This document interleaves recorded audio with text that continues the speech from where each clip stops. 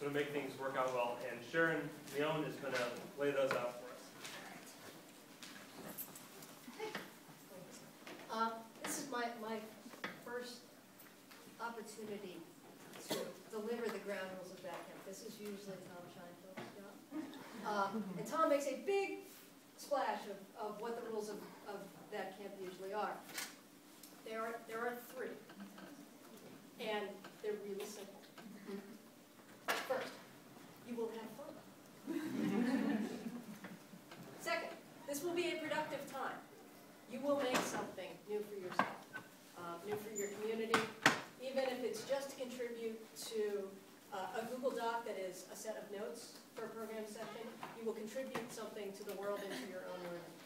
And the third one is that camp, hands down, is a collegial space. It's completely horizontal.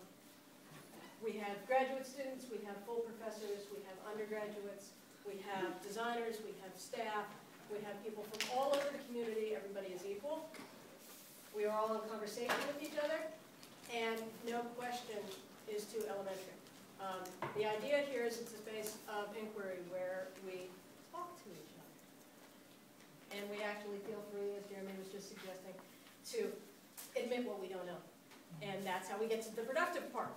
So those are the three ground rules of THATCamp. Um, they have been remarkably successful in the last three and a half or four years.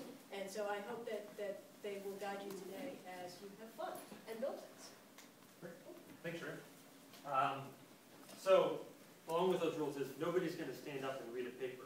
So do everything you can to participate in the sessions, lead them, promote resources, whatever it is that uh, would be helpful to you. The sessions are yours uh, to do as you, as you go. Uh, let me show you a few things that will help you navigate uh, today. So first, you're going to want to know where's the schedule. So if you go to our website, which is newengland2011.thatcamp.org, um, you'll see the schedule, and this one right here is the, the session, session schedule, which is being worked on right now.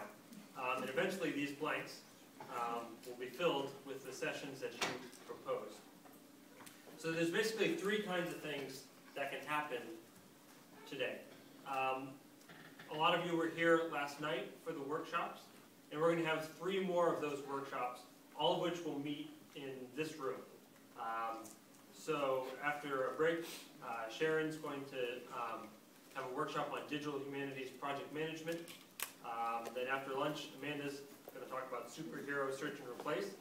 Uh, and then um, Conrad is going to talk about GIS, um, how to make uh, simple maps. Um, the main thing, now, a lot of you, if, if left to your own devices, will only go to the workshops, which is, the workshops will be helpful to you, but really, you want to get into some of the um, um, unconference sessions. So, so don't limit yourself just to the workshops. The other things are these sort of democratically run, voted on um, sessions, which will appear here magically in a few minutes, um, or, or semi-magically. Isn't that how democracy works? um, so these are going to be at um, five different rooms, all in this building. So this is Mandel G3.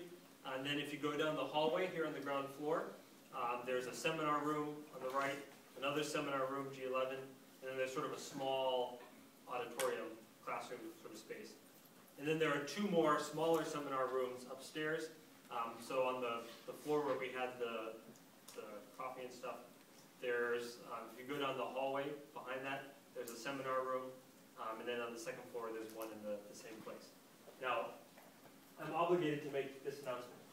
Uh, whenever they designed this brand new, beautiful building, one silly thing they did was leave these department offices open so anybody can go in there.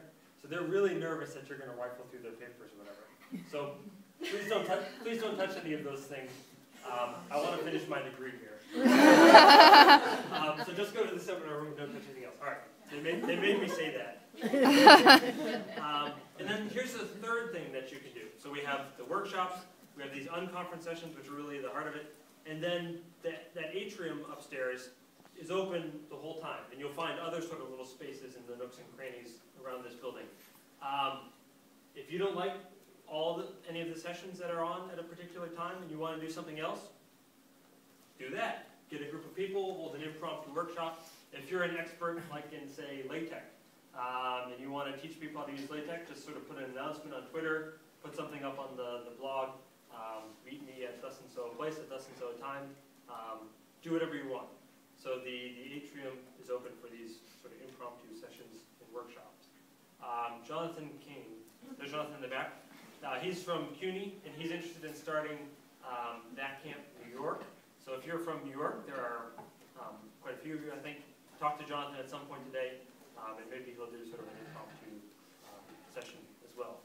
Also, if you need, um, if you need to stretch out the announcement time in order to give the schedulers more, more time, I'm happy to talk a little bit about THATCamp and how you would organize THATCamp and all that if you want. Great, we'll do that in a few minutes. Sure. In fact, I think the very next thing is um, Amanda French is going to explain to us the proceedings of THATCamp. Oh!